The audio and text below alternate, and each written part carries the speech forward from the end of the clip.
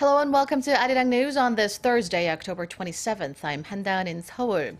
We'll begin with the expanding scandal centering around Choi Soon-sil, a confidant of President Park Geun-hye that's inflamed public anger in Korea. Choi has broken her silence for the first time and apologized for receiving documents from the nation's top office, but she denied most other claims. Kim Mo-kyun starts our coverage. In an exclusive interview with local newspaper Segye Ilbo on Wednesday, Choi Soon-sil confirmed that she'd received and edited dozens of presidential speeches despite holding no official post in the Park administration. Choi was interviewed in Germany where she's staying now with her daughter. She reportedly sobbed throughout the interview saying that she's so exhausted she could kill herself. She claimed she did not know the speeches passed to her during the early stages of the administration were confidential and that she did it to help President Park express her feelings more clearly. Choi apologized to the public for causing chaos in society and said sorry to President Park, claiming she only helped because of her loyalty and faithfulness to her friend.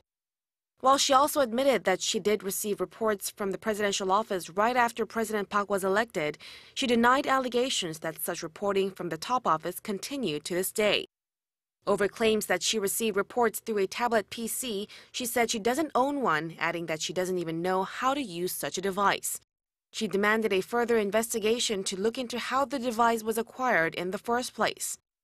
Choi also denied all allegations that she had meddled in appointing key government officials to interfere in state affairs.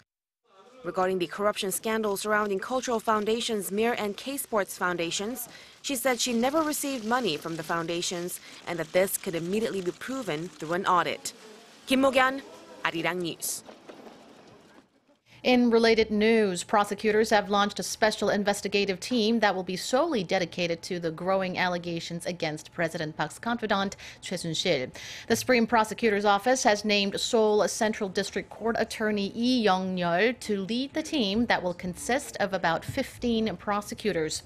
It has demanded a thorough and extensive probe into the case, but the investigation will be independent from the Ministry of Justice as well as the presidential office. The probe will focus primarily on whether Choi had access to presidential documents and if so, what kind of punishment will follow.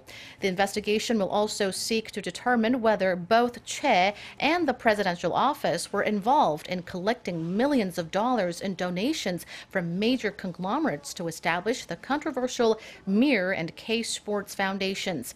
It'll also investigate whether Choi funneled any of that money into her own private accounts. Turning now to the latest on Samsung Electronics. As widely anticipated, the Korean tech giant has given Lee Jae-yong a seat on its board of directors. The shareholders meeting followed the third quarter earnings report, which has been hit hard by Samsung's botched Galaxy Note 7 recall, a fiasco that puts a little bit more onto the heir apparent's plate. Kim Min-ji reports. Further setting the ground for a corporate succession, shareholders of Samsung Electronics on Thursday approved the nomination of heir apparent Lee Jae-yong to join the company's board of directors. Speaking at the shareholders meeting ahead of the vote, Samsung Electronics Vice Chairman Kwon Oh-hyun said now is the right time to take on Lee as a board member to respond to rapidly changing business conditions and achieve continued growth. Lee didn't attend the meeting as it's customary for the person in question to not be present for a nomination vote. Lee will now be able to more actively participate and take formal responsibility for Samsung's business decisions. It also marks the first time in almost a decade that a founding family member will be held liable for any criminal and civil suits against the company. Lee's first task will be to steer the company through the Galaxy Note 7 debacle and repair Samsung's brand image with consumers.